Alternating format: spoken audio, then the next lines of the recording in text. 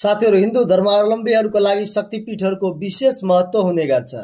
शक्तिपीठहरूको स्थापना र तिनको पूजा गर्ने प्रचलनले कुनै बेला समाज व्यवस्थापनमा मातृ सत्ताको प्रभुत्व रहेको तथ्यलाई औल्याउँदछ। हिन्दू धर्म मान्यहरूले सामान्यतया शक्तिपीठहरूको आराधना सदैव गर्ने गर्दछन्। अझ दसैँ आएपछि त शक्तिपीठहरूमा झनै विशेष आराधना पूजा पाठहरू गर्ने गरिन्छ र यस समयमा सम्पूर्ण शक्तिपीठहरूमा मेला लाग्ने गर्दछ। साथीहरू आजको यस श्रृङ्खलामा हामी तपाईँहरूलाई मुलुकका विभिन्न शक्तिपीठहरूको दर्शन गराउनेछौँ। त्यसैले यो भिडियोको अन्त्यसम्म हेर्नुहोला र अहिलेसम्म यो च्यानललाई सब्सक्राइब गर्नुभएको छ भने सब्सक्राइब पनि गर्नुहोला। पाथिभारा मन्दिर ताप्लेजुङ। पाथिभारा ताप्लेजुङ जिल्लामा रहेको एक प्रसिद्ध तीर्थस्थल हो। पाथिभारा मन्दिर हिन्दू एवं बौद्धहरूको महत्त्वपूर्ण धार्मिक स्थल हो। यो ताप्लेजुङ जिल्लाको बाह्र हजार फिट उचाइमा रहेको छ। विश्वास आस्था एवं पवित्रताकी देवी पाथिभाराको यो पवित्र स्थल ताप्लेजुङ जिल्लाको सदरमुकाम फुङलिङबाट उन्तिस पोइन्ट चार किलोमिटर पूर्वोत्तरतर्फ तिन हजार सात सय चौरानब्बे मिटरको उचाइमा अवस्थित छ।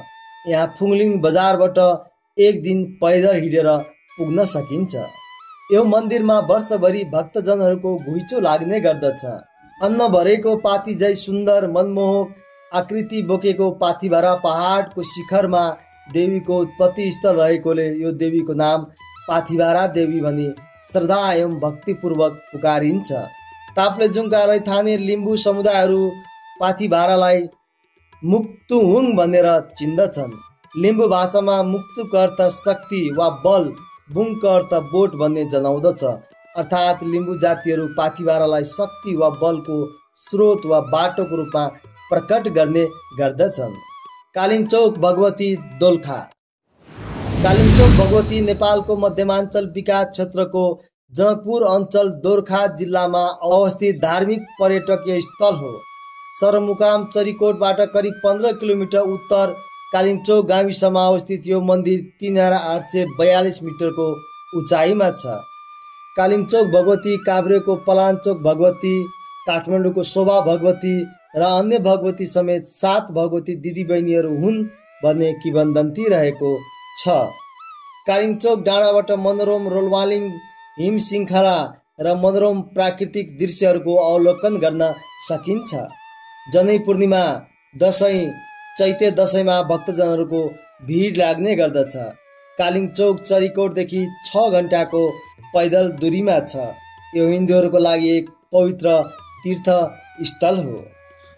गढिमाई मन्दिर बरियापुर बारा।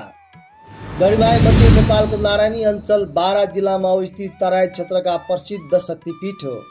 बारा जिल्लाको सदरमुकाम कलया नगरपालिकाबाट झन्डै आठ किलोमिटर पूर्व बरियारपुर स्थित गढीमाईको मेला हरेक पाँच पाँच वर्षमा मार्ग शुक्ल सप्तमीदेखि आरम्भ हुन्छ। नेपालका विभिन्न क्षेत्रबाट लाखौँ दर्शनार्थीहरूको ओइलो लाग्ने यस शक्तिपीठमा हजारौँ भारतीय दर्शनार्थीहरू पनि आउने गर्दछन्। बरियारपुरमा विश्वको सबैभन्दा धेरै पशुको बलि दिने गरिन्छ। यहाँ पैँतिस हजारभन्दा बढी राँगाको बलि दिने गरिन्छ भने हजारौँ सङ्ख्यामा बोकाको बलि दिने गरिन्छ। दन्तकाली धरान। दन्तकाली मन्दिर धरान नगरपालिका वडा नम्बर चौध विजयपुर डाँडाको मध्य भागमा अवस्थित छ। मध्यकालतिर कालिकाका नामले चिनिने यो मन्दिर भगवान शिवले सतीदेवीको मृत शरीर बोकेर हिँड्दा सतीदेवीको दन्त पतन भई शक्तिपीठको रूपमा स्थापित भएको मानिन्छ। उक्त मन्दिरमा सतीदेवीका दाँतको प्रतीक स्वरूप एउटा कालो प्रस्तर राखी पूजा आजा गर्ने गरिएको छ। यो मन्दिरमा बोका राङ्गा आदिको बलि दिने चलन छ। यो मन्दिरको बारेमा स्वस्तानी व्रत कथामा पनि उल्लेख भएको पाइन्छ। नेपालको एकीकरण पूर्व विजयपुर राज्यका सेन वंशी राजाहरूको इष्टदेवीको रूपमा पूजित यो शक्तिपीठको महिमा सदाकाल उस्तै रहेको छ। दन्तकालीको मन्दिर विक्रमसम्म दुई हजार पैँतिस सालसम्म सामान्य प्रकारको थियो। हाल भने त्यसपछि यस स्थानमा भव्य तलेस शैलीको मन्दिर बनाइएको छ। दन्तकाली क्षेत्रमा दसैँको नौरथामा मेला लाग्दछ। त्यस समयमा धरान बजारका प्राय सबै मानिसहरू दन्तकालीमा पुग्ने गर्दछन्। यसबाहेक तिज र स्वस्थानी पूर्णिमाका अवसरमा पनि दन्तकालीमा मेला लाग्ने गर्दछ। पलाञ्चोक भगवती काभ्रे पलाञ्चोक पलाञ्चोक भगवतीको मन्दिर काभ्रे जिल्लाको साठी घर भगवती गाविसमा अवस्थित छ। काभ्रेको पाँच खालबाट सात किलोमिटर पूर्व स्थित यो मन्दिर लिच्छवीकालीन राजा मानदेवले आफ्नी आमाको सम्झनामा निर्माण गर्न लगाएका हुन्। शिल्पकलाको दृष्टिले पलाञ्चोक भगवतीको मूर्ति अद्वितीय मानिन्छ। नक्साल भगवती र शोभा भगवती अनि पलाञ्चोक भगवती एकै शिल्पकारले तयार गरेको किबन्दन्ती रहेको छ। दक्षिणकाली काठमाडौँ। दक्षिणकाली मन्दिर राजधानी काठमाडौँबाट दक्षिण भेगमा करिब सत्र किलोमिटरको दूरीमा रहेको छ। यो काली देवीको मन्दिर हो। यो मन्दिर राजा प्रताप मल्लद्वारा निर्माण गरिएको हो। यो फर्पिङको मुटु स्थित ऐतिहासिक महत्त्वले भरिपूर्ण मन्दिर हो। चारैतिर हरियालीले सजिएको यो मन्दिर दुई नदीको दोभानमा छ। यो मन्दिरमा कालीको मूर्ति बाहेक अन्य देवी देवताको मूर्ति पनि छन्। यो मन्दिरमा वर्षेनी हजारौँ भक्तजन आफ्नो मनोकाङ्क्षा पुरा गर्न आउँदछन्। मूलत दसैँको बेला यहाँ विशेष मेला लाग्छ। दसैँको नवरात्रिमा यहाँ कैयौँ भक्तजनहरू हाँस कुखुरा राङ्गो बोकाको बलि दिन्छन्। यो मन्दिर धार्मिक र सांस्कृतिक दृष्टिकोणले धनी छ। मनोकामना मन्दिर गोर्खा। गोर्खाको मनोकामना मन्दिर एक महत्त्वपूर्ण देवी स्थान शक्तिपीठ मानिन्छ। मनले चिताएको इच्छा पुरा गर्ने भगवती भन्ने अर्थमा मनोकामना नाम रहन गएको हो। गोर्खाका राजा राम साकी रानी स्वयं मनोकामना भगवतीको अवतार थिइन् भन्ने जनविश्वास छ। दसैँमा पूजा गर्न आउनेहरूको यहाँ ठुलो भिड लाग्छ। यहाँ प्रत्येक अष्टमीको दिन बलि चढाइन्छ। मनोकामनाको दर्शनले मनोकाङ्क्षा पुरा हुने धार्मिक विश्वास छ। यो मन्दिरको पुजारीहरू भने मगर जातिको पिथकोटे थरको हुने पाइन्छ। पृथ्वीनारायण शाहको खस र मगर सेनाहरूले लिम्बुवानी सेनालाई हराएपछि यहीँ आएर लखन थापा मगरले देवीलाई बलि भेट गरेको मानिन्छ। कालिका भगवती मन्दिर बागलुङ बागलुङ कालिका भगवती मन्दिर नेपालको एक प्रसिद्ध शक्तिपीठ हो। यहाँ छिमेकी मुलुक भारतबाट पनि हजारौँ दर्शनार्थी आउने गर्दछन्। हिन्दू धर्ममा कालिका भगवतीको महत्त्वपूर्ण स्थान छ। शक्ति प्राप्तिका लागि कालिका भगवतीको पूजा आराधना गर्ने विश्वास गरिन्छ। कालिका भगवतीप्रति विश्वास राखेर पूजा पाठ गर्नाले उनी प्रसन्न हुन्छन् र फल प्राप्ति हुन्छ भन्ने किंवदन्ती रहँदै आएको छ। बागेश्वरी मन्दिर नेपालगञ्ज। बागेश्वरी मन्दिर नेपालगञ्जमा रहेको एक प्रसिद्ध मन्दिर हो। बाँके जिल्लाको नेपालगञ्जमा अवस्थित यस मन्दिरमा रहेको स्थानमा सती देवीको जिब्रो पतन भएको विश्वास गरिन्छ। यस स्थानमा सर्वप्रथम किन्नरगणहरूले पूजा आराधना गरेको मानिन्छ। एउटा ठुलो तलाउको किनारमा रहेको यो मन्दिर नयाँ मुलुकका रूपमा बाँके बर्दिया कैलाली र कञ्चनपुर नेपालमा गाभिएपछि मात्रै पत्ता लागेको हो। मैतीदेवी मन्दिर काठमाडौँ।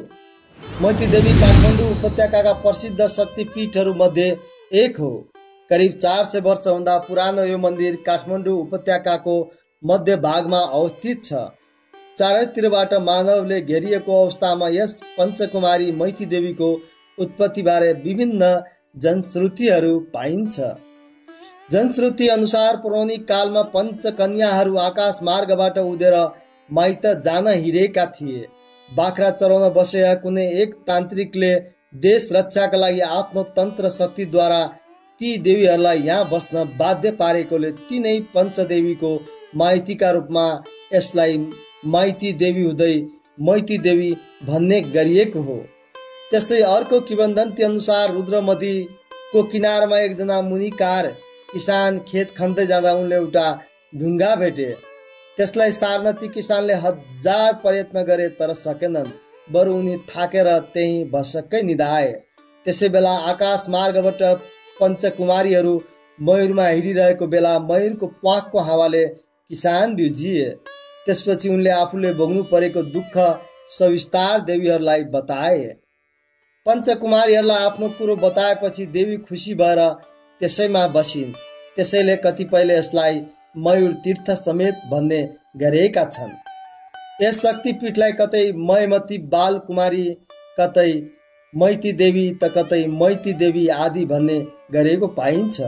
यहाँ सबैभन्दा पहिला राजा गुण कामदेवले कान्तिपुर स्थापना गरेपछि यसका वरिपरि गणेश भैरव आदि देव पुरुषको साथै काली योगिनी अष्टमातृका जस्ता देवदेवीको स्थापना गरेका थिए भन्ने भनाइ इतिहासविदहरूको छ। इतिहासविद भुवनलाल प्रधानका अनुसार यहाँ पहिलो पटक मन्दिर निर्माण काठमाडौँका राजा प्रताप मल्लले गरेका हुन्। हाल रहेको मैतीदेवी मन्दिर भने सन् सत्र सय एघारमा चतुर्देशी सेवा खलकले बनाएका थिए। तलेजु भवानी काठमाडौँ। तलेजु भवानी काठमाडौँ उपत्यकामा अवस्थित एक मन्दिर हो।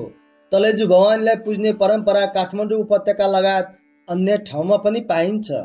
चौधौँ शताब्दीमा सिमरनगढका राजा हरिसिंह देवले मुसलमानको आक्रमणबाट बचाएर ल्याई तुलजा भवानीलाई भक्तपुरमा स्थापना गरेको इतिहास पाइन्छ। यही तुलजाको प्रबन्ध भई तलेजु नाम रहन गएको हो। भक्तपुरपछि क्रमशः काठमाडौँ पाटन र किर्तिपुरका प्राचीन राजदरबारभित्र तलेजुका भव्य मन्दिर छन्। नेपालमा राज्य गर्ने राजाहरूले तुलजा भवानीलाई इष्टदेवी मान्ने गरेका छन्। साथीहरू आज हामीले चर्चा गऱ्यौँ नेपालका प्रसिद्ध चर्चित र दर्शनीय शक्तिपीठहरूको बारेमा। साथीहरू आजको श्रृङ्खला तपाईँलाई कस्तो लाग्यो कमेन्ट मार्फत लेख्न नबिर्सिनुहोला र अहिलेसम्म च्यानललाई सब्सक्राइब गर्नुभएको छ भने सब्सक्राइब पनि गर्नुहोला। आगामी श्रृङ्खलामा फेरि पनि एउटा रोचक विषय वस्तुका साथ तपाईँ समक्ष आउने नै छौँ। तब हामीलाई बिदा दिनुहोस्। जय देश जय नेपाल। माता दुर्गाले सबैको रक्षा गरून्।